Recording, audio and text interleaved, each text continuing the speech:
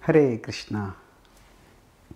We don't have to outweigh our urges, we just have to outweigh them. Sometimes our urges, such as desire or anger, hit us very forcefully. And sometimes their force may seem to be so strong that we may feel, I, I can't fight this. And we may feel like giving up. At that time, we have to understand that this battle is being fought on special terms. We don't have to necessarily be stronger than our urge. We just have to wait longer than the urge waits. Hey, suppose there is a person who has come and knocking at our door, and that person is a big bully, and that person is knocking forcefully on the door and banging on the door, trying to break the door. Mm-hmm. Now uh, we may think, oh, this person, how can I, how can I resist this person? It's so powerful. Probably this person wants to come in and do whatever they want. If they want to steal from my house, let them steal it. We think like that.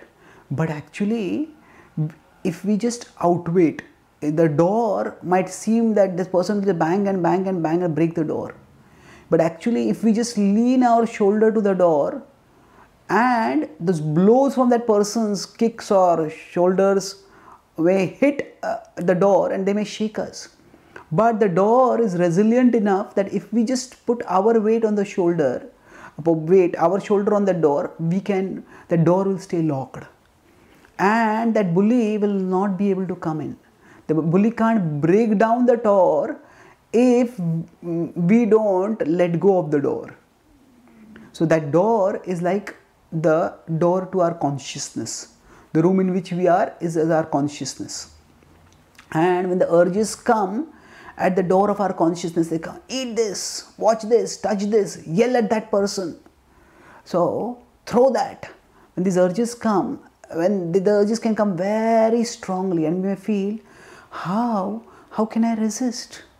But actually we don't have to resist uh, we don't have to beat them in a power of strength, in a contest of strength. We just have to beat them in a contest of patience. So just to just to hold on, just to wait. If we are ready to wait, the urges they come like waves. They will stay for some time and they will go. This bully doesn't have infinite patience. And if he finds that we are not ready to open the door, we are not ready to get intimidated, that bully will himself go away. So Krishna points to this dynamic in 5.23 in the Bhagavad Gita when he states, Shaknoti haivaiha sodhum prak sharir vimokshanat kama krodhodbhavam vegam sayuktah sasukhi naraha. That he's saying, if you can tolerate the urges of desire and anger, then you'll be well situated. You will be yukta, you'll be spiritually connected and you will be satisfied. Sukhi naraha. So the urges can't create a disruption or devastation in our life if we just outweigh them. So knowing that we don't have to outweigh them, we don't have to be stronger than them. We needn't get intimidated by their ferocity. What we can do is, especially if we turn our consciousness towards spirituality and just try to absorb ourselves in the remembrance of Krishna, in the service of Krishna, then that absorption will help us uh, weight, outweigh the bully.